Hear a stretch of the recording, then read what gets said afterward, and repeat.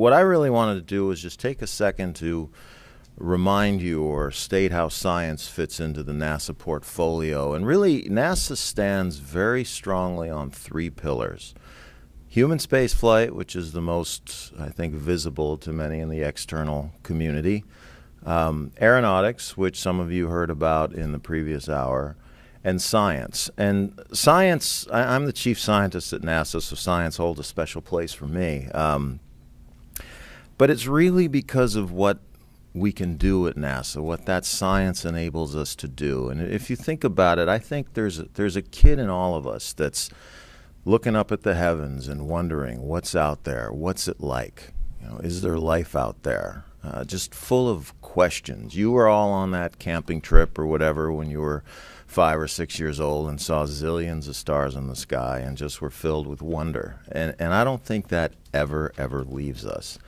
And there's the adult in us that appreciates the beauty of the universe around us, that appreciates the beauty of the earth from space, and that recognizes the need to understand our planet, how it functions, how it's changing, why it's changing, and looking more grandly our place in the universe, how the universe works, how the solar system works, to, to answer really some fundamental questions that are at the very core of the human spirit.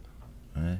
That drive us. It's in our DNA to explore, to understand, to learn, to try and survive in a changing world, to try and thrive in a changing world. And the perspective that we get from space, whether it's looking outward to the edges of the universe in the beginning of time, or inward back at the planet on which we live, is unique, it's important, it fuels that hunger that's in us all.